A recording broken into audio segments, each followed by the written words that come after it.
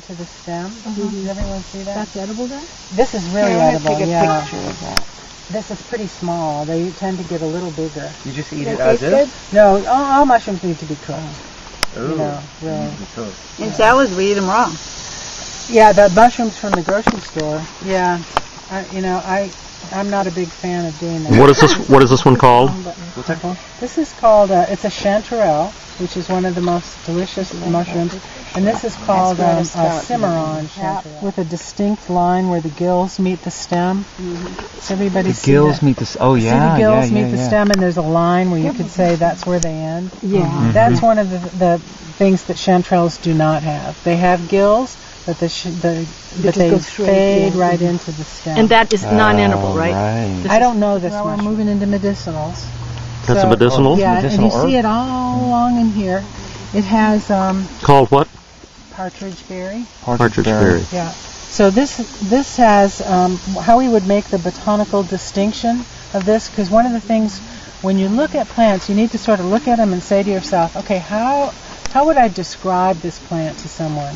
Because that's the thing that's going to really make the difference in terms of uh, knowing that you have the right plant. So this one we would say its leaves are opposite, right? They're all mm-hmm. in pairs. Mm-hmm. Mm-hmm. It's a vine, and it has this really distinctive white vein dividing mm. the leaves. Hmm. Does everyone see that? Is used as a tonic for the female reproductive system. Hmm. It's uh, it strengthens and regulates the function of the, of the female reproductive system. So we use this for um, women who have menstrual uh, irregularities, a lack of menstrual periods, trouble getting pregnant, trouble maintaining a healthy pregnancy, as a tonic. right here. Um, this is a, a, a distinctly different plant, this little cluster, but you see it's right by the partridge berry, right? But it does not, it's not a vine, right? It's upright, um, but it does have a white vein on its leaf. Another thing these two plants have in common is um, that they um, are both evergreen. So if you came out here in winter, you would still see both of these plants. This is Pipsissewa. yes, P-I-P-S-I-S-S-E-W-A. And as you might guess, that's an American Indian word, right? Pipsissewa aerial parts are used. This is has little tiny flowers. It's already Anybody bloomed. wants to get in? Now it's gone to seed. And um, Pipsissewa is a tonic, so slow, long-term use for the kidney. You're an? And those are considered um, basal leaves because they grow at the base of the plant only. Please point to them again. Right here, Two big leaves. So two big pleated leaves right here. And it's Here you called? see the flower And it's called lady slipper. lady slipper. That's called. Um, this is called. Its its botanical name is Prunella vulgaris. P R U N E L L A V U L G A R I S. And whenever you hear a plant having as its botanical name the word vulgaris, it means common. So that instead of giving it a specific name, it was just given that uh, that uh, species name because there's so much of it. This is actually a plant introduced from Europe, but it's a classic mint family plant. Um, some of you may know that one of the ways that mints are distinctive is they all have square stems. Mhm. So when you feel the stem of a mint, Yeah, this. it's never I'll pass had. One has around. edges to it. Yeah. you can just sort of feel that. And Oh, usually yeah. more towards the base than towards the You said top. mint? Mint. Yeah, the mint family. Everything in the mint family has opposite leaves, square stems, and they usually have their flowers arranged in what we call whorls or circles. It's not in that book, by the way, because it's a European. Those that's only native plants, and this is introduced. Oh, Okay. Mm-hmm. So do you see how these flowers are kind of arranged in circles? So we might look at this and say, oh, there's the flower, but it's really a collection of flowers, teeny tiny flower herb, A cancer? anti-cancer herb, yeah, a, a plant because Chinese medicine. yeah, in Chinese it's used in Chinese medicine. It's um for breaking up masses. The most phenomenal restorative for the liver function. Does it have to be old or can it be fresh? Young one. Can be young. This is the Indian cucumber. I took some chefs out last spring And I showed them this, and they tasted it, and they all went crazy over it. And they said, "Can we get 40 pounds of it from you?" And I said, "Uh, you can't afford for me to get 40 pounds of it." Now what is that? Solomon seal. Solomon. Oh, I've heard of that. So this is a good example of a rhizome, which the rhizome is actually an underground stem. We'll have a phone. So you can see this is how it was growing. Here's the leaf scar from last year, right here, no flat spot. And here's the bud for next year. Wow. Okay? So this plant is growing along like this, Ah. right? When it first comes up in the spring, before the leaves fully emerge, it's edible as a wild green. It tastes like asparagus. This was one of the main plants that the Cherokee used as a food. And what they would do with it is collect it after it flowered, so the flowers have fallen off, and the berries have also fallen off, and it's starting to die back. Right? You see that? So that would be our signal that everything's going back into the ground. And this root, the Cherokee would take it and they would roast it in a in fire, like so they have coals. They would put it in the coals, let it roast. Then they would grind it and they would make it into a flour. F L O U R. And then they would use that flour as a thickening agent. Yellow root. Yellow roots. It's distinct with its um, its leaves. Yeah. Um, well, I'm going to show you a couple other things. About so, uh, woody stem comes out of the ground, right? So it's really not a, a, an herb in the sense that it's not a succulent plant. It's got actually bark on it. And uh, where the bark ends, that's where the flower, the leaves emerge.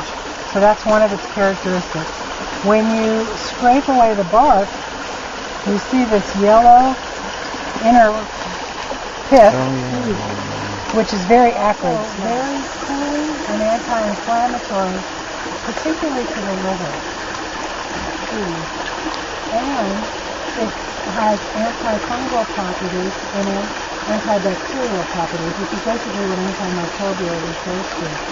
And this is phenomenal for oral stress, um, uh, stomach ulcers. So stomach ulcers are caused by um, H. pylori bacteria that gets in the ulcer and it perpetuates it. And this, drunk as a tea, will kill that bacteria and allow the stomach ulcers to What's it called? Jewel weed. Jewel. And it's called jewel weed. What did we lose? We're looking at jewel weed right here. And it's called jewel weed because of the way water beads up on its leaves. Do you see how that looks like a little diamond? Uh-huh. And here's its little flower. It's just starting to bloom. Lovely little flowers that kind of dangle under the mm-hmm. leaves. And this is this plant is an annual. And what I how and what that means is it's really easy to uproot because annuals have no no significant root system. They only provide the plant with some stability and some nutrients through the root, but they don't ever store any nutrients in the roots. So jewelweed, very succulent, fluid-filled plant. If you even just look at the stem, you find that there's all this liquid and juice in there. So think of the word vulnerable, but vulnerary. And a vulnerary is something that heals the skin. Hmm. So this herb's main claim to fame is that it's soothing and anti-inflammatory to the skin, but it's also a little bit astringent. And that's why it's so famous for doing one particular thing. Anybody know? Poison oak. Astringent Witch secrete. It dry, yeah, it's it, it's astringent. It dries up fluids, dries things up. How about for sunburn? Is it good for that? Poison ivy. Poison ivy. Oh, this is it. You have poison ivy. Phenomenal remedy because it addresses all the things that poison ivy does. Reduces the inflammation, heals the skin, and dries up the oil. What people used to use um, to um, Phosphorus? tinder, Is it tinder starter, and also um, to do like um, early photography and to do magic tricks. Yeah, like flash powder. Lycopodium? phosphorus in it? Is it called lycopodium? buckberries. You mean there's a buckberry that people cultivate? No, this is a this is a wild. Do you want the man's name? It's named after a man, Joe Pye, P-Y-E. PYE, Joe Pye. And there's a big one. That usually gets about 12 to 14 feet tall. Excuse me. And Joe Pye is um, has two uses. The aerial parts are expectorant. They're for breaking up lung congestion and um, reducing fevers. and the roots are antilithic. Anyone remember what that was? Stone. Break, dissolves kidney stones. So someone was asking me earlier about what you would do for kidney stones. You would do pipsissewa and the root of This this is goldenrod, huh? yeah, I love goldenrod. This is one of my favorite plants. It's got so many uses. It's got such a bad rap, and it's not deserved. Um, anything that has a bad rap is always yeah, and people sometimes think. Um, so goldenrod, we use the aerial parts when it's in flower. This is wonderful for inflammation in the upper respiratory system. So seasonal allergies. So if you're someone who has seasonal allergies, Wow. when you drink a tea of this, it's going to reduce all that inflammation in your eye, you know, that scratchy throat, itchy eyes, runny nose, all of that. It's kind of like homeopathy. Yep. Because it causes it. No, it doesn't cause it. Ragweed causes it. Oh, thank you. You can. Let me just tell you something. This is this is something that a lot of people misunderstand. The only plants that can cause an, a hay fever reaction uh-huh. are plants that have airborne pollen, that they're wind pollinated. Uh-huh. So pine trees are wind pollinated. Ragweed is wind pollinated. Grasses are wind For the urinary tract, especially for cystitis. Um, both. All, all, so the, all um, goldenrods are used the same way. It's also very uh, healing to the skin, so you can make a skin salve out of this one. This one is rose hips here with these compound leaves. Oh, they are rose hips. Takes peas, so. But don't get confused because sticking out in between them are elderberries. Okay? So you can see the difference. Escargots, yeah. Mm-hmm. Okay, so you can see the difference between the two of these, right? Yeah. very different, which is basically the seed ovary of the flower that's swelling up. These are going to turn dark red. Uh, the colder, the farther we go into the fall. After a few frosts, they get very tart. And that's when the ascorbic acid is the highest in them, and that's what makes them a good mm-hmm. source of vitamin C. Mm-hmm. If you have different kinds of roses, the hip size is going to vary depending on the rose.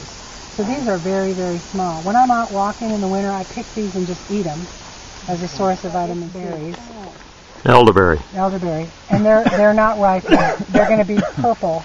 They're going to look like a blueberry when they're ripe.